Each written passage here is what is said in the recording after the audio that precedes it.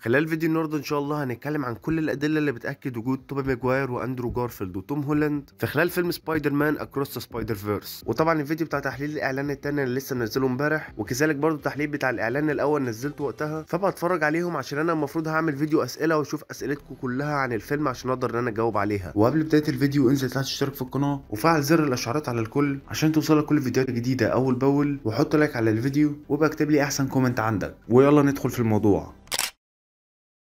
طيب في البداية كده إحنا لازم نبدأ بأول حاجة هي لسه نازلة واللي هو الإعلان بتاع شركة سوني نفسها. للي فيكم مش عارف شركة سوني بس الفرع الأسباني أو القناة الأسبانية بتاعتهم وكذلك برضو كام قناة تانية صغيرة ليهم نزلوا نفس الإعلان بتاع فيلم Spider-Man Across Spider-Verse ولكن في شوية اختلافات بسيطة. والاختلافات دي تكمن في إن هم ما بدأوش الإعلان بنفس الطريقة بتاعت الإعلانات التانية اللي هو new trailer begins ولكن بدأوا الإعلان بالكلام بتاع توبي ماجواير اللي كان موجود في خلال فيلم سبايدر مان 2 لما قال لدكتور أوكتوبوس إن هو أحيانا لازم إن إحنا نسيب الحاجات اللي إحنا بنحبها. وبعد كده بنلاقي الصوت بتاع أندرو جارفيلد وهو برضه بيقول حاجة شبيهة ليها. وبيقول إن هو كل ما بيحاول إن هو ينقذ الموقف وينقذ الناس كل شوية بيفضل يعمل أعداء أكتر. والجملة دي هي كانت موجودة في خلال فيلم The Amazing Spider-Man 2 لكن الصراحة مش فاكر كانت إمتى بالظبط. وبنلاقي الجملة بتاعت توم هولاند لما هو بيقول إن دي فرصته عشان يثبت نفسه. والجملة دي هي متاخدة من فيلم Spider-Man Homecoming لما لقينا إن هو بيتر باركر كان قاعد مع نيد والاثنين كانوا بيحاولوا يشيلوا جهاز التتبع. اللي توني ستارك كان حاطه في البدلة بتاعت سبايدر مان عشان يبقى عارف مكانه. الحلو في الجمل اللي هم قالوها دي إن هي ماشية برضه مع نفس الأسلوب بتاع الفيلم. بالنسبة لتوبي ماجواير هو بيقول الجملة بتاعته إن هو أحيانا أنت لازم تسيب الحاجات اللي أنت بتحبها. وده نفس الكلام اللي بيقوله برضه ميجال أوهيرا لسبايدر مان مايلز موراليس. لما هو بيقول له يا إما تحفظ شخص واحد يا إما تحفظ كل ال multiverse. وبالنسبة للكلام بتاع أندرو جارفيلد إن هو كل ما بيكون سبايدر مان أو بطل خارق كل شوية بيفضل يعمل اعداء أكتر. ده نفس اللي أنت هتشوفه برضه جوه الفيلم وشفته جوه الإعلان. واللي هو انه كل النسخ التانية بتاع سبايدر مان قاعدة بتجري ورا مايلز موراليس. بالنسبة بقى للجملة بتاعت توم هولاند فدي اللي ممكن تكون أكدت لي بنسبة 90% إن هم فعلا الثلاثه هيظهروا. لأن توم هولاند بيقول إن هي دي الفرصة بتاعته عشان يثبت نفسه. والمفروض آخر حاجة إحنا عارفينها عن فيلم سبايدر مان 4 بتاع توم هولاند إن هو هيظهر خلاله مايلز موراليس وهيكون توم هولاند هو المشرف عليه. والكلام ده كلام رسمي وقلته أكتر من مرة هنا في القناة. ولكن زي ما قلت لكم قبل كده الموضوع هو مختلف هنا. لأن في ناس بتقول إن هو هيظهر من ال animation لل live action وفي مصادر تانية قالت إن هو هيظهر live action بس وملوش أي علاقة بال animation. وطبعا دي بالنسبة لنا هي تعتبر مشكلة لأن إحنا عندنا في عالم ال MCU تقدم عم مايلز موراليس اللي هو آرون ديفيز. ولو بصيت برضه على فيلم Spider-Man Into Spider-Verse هتلاقي برضه ان هو عمه كان موجود ولكن هنا عمه هو مات.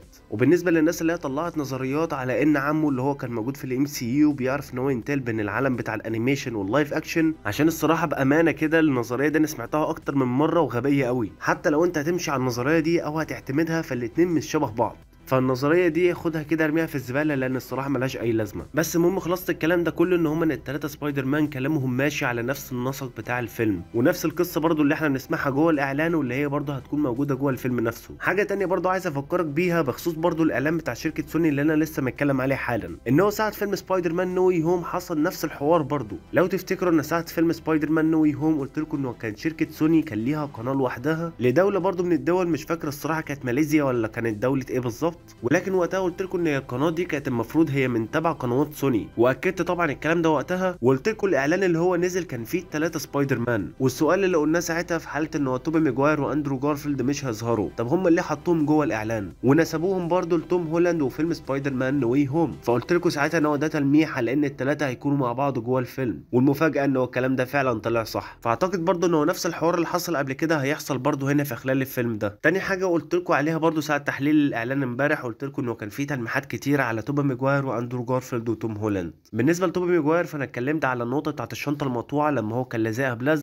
وقلت لكم إن هي حصلت في خلال فيلم سبايدر مان 2 وكذلك برضو لما هو ودى الأكل متأخر وبرضو حصلت في خلال فيلم سبايدر مان 2 والمشهد بتاع جوين ستيسي وهي بتقع وبرضو كان متكرر في خلال فيلم The Amazing Spider-Man 2 ومشهد مايلز موراليس وهو بيهرب من ميجال اوهيرا كان هو برضو عامل زي المشهد بتاع دكتور سترينج وسبايدر مان توم هولاند في خلال فيلم Spider-Man No Way Home. وكان في برضو نسختين لسبايدر مان كانوا متعلقين زي أندرو جارفيلد من خلال فيلم Spider-Man No Way Home. وما تاخدش التلميحات دي على أساس إن هي تلميحات كده عادية وخلاص. لأن لو تفتكر برضو ساعة Spider-Man No Way Home المشاهد اللي شركة سوني بنفسها نزلتها كان فيها تلميحات على توبي ماجواير وتلميحات على أندرو جارفيلد سواء بالكلام عليهم أو بالحركات اللي هم عملوها في خلال الأفلام بتاعتهم واللي توم هولاند عملها تاني. تالت نقطة معانا واللي هي التلميح على أحداث فيلم Spider-Man No Way Home. وزي ما قلت امبارح معنى إن هو اتكلم عن أحداث فيلم Spider-Man No Way Home معناه كده إن هو عارف توبي ماجواير وأندرو جارفيلد وتوم هولاند. وجوه الفيلم لما التلاتة يظهروا هيبقى هو كارههم. لأن هم عملوا حاجة بوظت كل ال multiverse واللي هي طبعا زي ما قلت امبارح إن هم عالجوا ال villains. وعلى حسب توقع شخصي التلاتة دول أول ما يظهروا مع بعض جوه الفيلم هيكونوا في الصف بتاع سبايدر مان مايلز موراليس. وده حتى كمان لو ميجال أوهيرا هو عنده حق في اللي هو قاعد بيعمله. وده لأن ببساطة التلاتة دول ما يعرفوش أي حاجة عن ال multiverse أو التصادمات والغارات اللي هي ممكن تحصل. تالت نقطة واللي هي التسريبات نفسها والأخبار اللي كانت قاعدة بتتكلم على توبي ميجواير وأندرو جارفيلد وتوم هولاند جوه الفيلم. وطبعا في خلال الفيديوهات بتاعه الأخبار كلها اللي أنا كنت قاعد بنزلها كان تقريبا كل فترة والتانية بتسمع إن هو في خبر بيأكد الموضوع. فالموضوع من ناحية الأخبار والتسريبات هو فعلا مليان. وكان من أشهر الأخبار اللي اتكلمت عليها هنا برضو في القناة إن هو الناس اللي شغالة على فيلم Spider-Man Across Spider-Verse بنفسهم أكدوا إن هو جوه الفيلم هنشوف فيه مشاهد live action والخبر التاني اللي إحنا برضو سمعناه من قريب جدا لما إيمي باسكال صرحت إن هو في تعاون بين شركة سوني وشركة مارفل. ومايلز موراليس احتمال إن هو يظهر بعد سنتين في عالم ال MCU وطبعا زي ما قلت وقتها سنتين اللي هو فيلم ال Secret Wars. والخبر التالت واللي طبعا اتكلمت عليه من زمان جدا واللي هو من مصدر موثوق وخلاص شبه اتأكد وكان ليه تلميح امبارح جوه الإعلان نفسه لما أنا حللته والتلميحه والخبر ده اللي كان بيخص كيفن فاجي وده لما قلت لكم ان هو كيفن فاجي نزل عليه أخبار إن هو هيخلي كل العالم بتاع ال Spider-Verse ينتقل لل live action عشان فيلم Avengers Secret Wars وطبعا التلميح على ال Secret Wars كان موجود امبارح في الإعلان فالموضوع كله مترابط وواضح جدا. المشكلة الأخيرة بالنسبة لي واللي هو الفيلم بتاع Madame Web وفيلم Spider-Man Beyond the Spider-Verse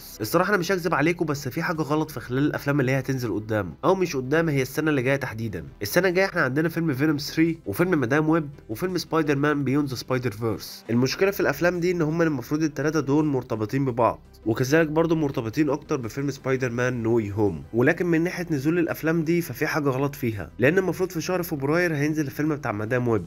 وفي شهر مارس هينزل فيلم Spider-Man Beyond the Spider-Verse وشهر أكتوبر أو سبتمبر هينزل الفيلم بتاع Venom 3 ولو هتبص على الأخبار فالأخبار المفروض بتقول إنه في خلال فيلم Madame Web هنكمل الأحداث بتاعة فيلم Spider-Man Across Spider-Verse وفيلم Spider-Man Beyond the Spider-Verse يعني العالم بتاع ال animation بتاع ال Spider-Verse كله هنعرفه في خلال فيلم Madame Web. وكذلك برضو اتقال إنه في خلال فيلم Madame Web هنبقى موجودين في العالم بتاع توبي ميجواير ولكن وهو صغير. وهنشوف أبوه وأمه. وبالنسبة لفيلم Venom 3 فاللي المفروض يتأكد فيه إن إحنا هنشوف سبايدر مان ضد فينوم ده كلام اتاكد كلام رسمي ما فيهوش أي شك ما فيهوش أي نقاش. ولكن على الجانب الثاني من ناحية الأخبار والتسريبات اللي قاعدة بتنزل اليومين اللي فاتوا فينوم هيقابل سبايدر مان ولكن وهو صغير. يعني هو لسه ما بقاش سبايدر مان أصلا. فكده المفروض فينوم هيقابل بيتر باركر وهو صغير قبل ما يكتسب القوة بتاعته. وفي نفس الوقت في أخبار قاعدة بتقول لك ان فينوم هيظهر في خلال فيلم Spider-Man Beyond the Spider-Verse وفينوم ده هيكون هو فينوم توم هاردي ولو هتبص على العالم بتاع فينوم فاتاكد إنه في خلال فيلم Venom 3 هنشوف إنه فينوم هيكتشف ال multiverse وهنفهم أكتر عن ال multiverse برضه في خلال الفيلم. أنتوا شايفين الحيرة وشايفين التعقيد اللي إحنا فيه؟ فالموضوع معقد وبجانب كده هم هيخلوك تتفرج على كل الأفلام عشان تبقى عارف إيه اللي حصل قبل التاني وإيه اللي حصل بعد التاني. وبس كده يكون فيديو النهارده خلص. لو عجبك الفيديو حط لايك على الفيديو وانزل برضو تأكد إن أنت مشترك في القناة ومفعل زر الإشعارات على الكل عشان توصلك كل الفيديوهات الجديدة أول بأول. وعرفني تحت رأيك في التعليقات أو اكتب أحسن تعليق عندك. وأشوفكم الفيديو الجاي و peace out.